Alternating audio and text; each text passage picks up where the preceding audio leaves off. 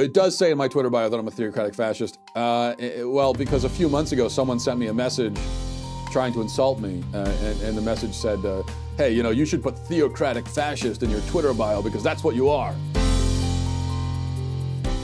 And I said, "Okay," and I did, and and that's why it's there. That's the whole story. Now, you could interpret it one of two ways.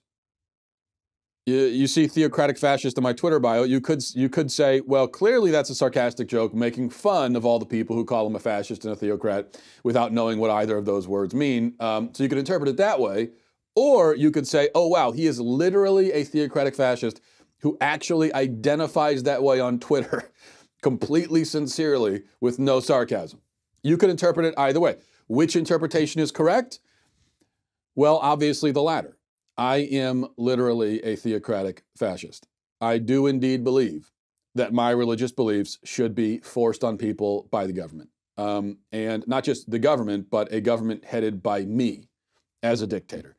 That, and, and that's just my opinion, okay? Um, and not just my religious beliefs, but really all of my beliefs. I, I want everything I believe to be forced on you by, by compulsion. For instance, I recently went on a tirade on, on Twitter against white condiments.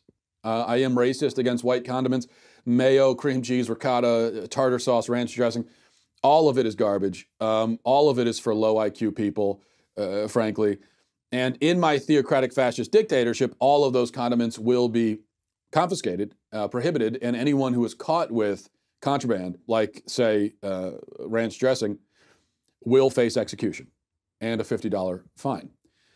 So you see, this is really this is really my whole thing. I just believe that the whole country should be forced by agents of the state to bend to my every whim and to live, speak, and act exactly as I decree on penalty of death. And you know that's it. It's, I, it's not a big deal. It's not like it's not anything to, to, to overreact about. I just I happen to believe that everyone should be forced to do what I want them to do. Um, and, and that's just my view. You know, we all have our political opinions, and that happens to be mine. But I, I, I want to say this. Don't worry, uh, because when I complete my takeover of the country, I want to make it very clear. I want to make this very clear, okay? This is important. My regime will be extremely corrupt, uh, which means that you can always bribe me and I'll let you pass on most of the rules.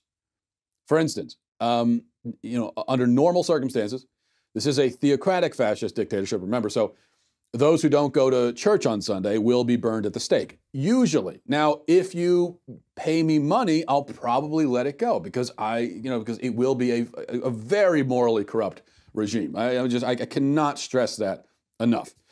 So um, it's not like I, I, my mercy cannot be bought. And, uh, and, and that's all. It's like everyone's freaking out about it. Say, oh, you're going to burn us at the stake. Yeah, well, if you pay me, I won't. So what's, I mean, what's the big deal here? And I can only hope that the next media report um, makes sure to include that I do believe in burning people at the stake for not going to church or for using ranch dressing or for any number of literally hundreds of, of infractions.